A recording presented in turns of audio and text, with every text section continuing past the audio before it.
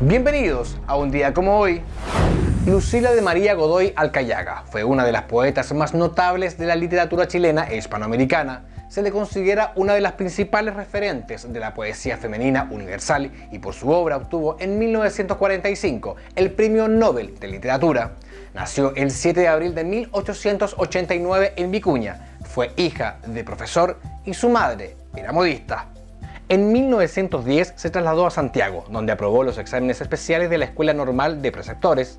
A partir de ese momento empezó a trabajar en distintas escuelas alrededor del país, entre Antofagasta y Temuco. Aquí conoció al joven Neftalí Reyes, Pablo Neruda, a quien introdujo en la literatura rusa. Su primer gran éxito literario fuera del ámbito regional ocurrió el 12 de diciembre de 1914, cuando obtuvo la más alta distinción en los Juegos Florales de Santiago por sus Sonetos de la Muerte. A partir de entonces comenzó a utilizar su seudónimo de Gabriela Mistral.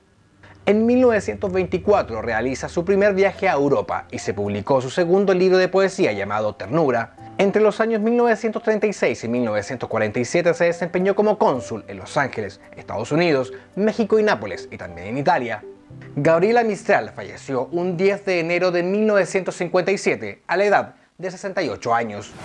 Hasta aquí llega un día como hoy, que tengan un buen día.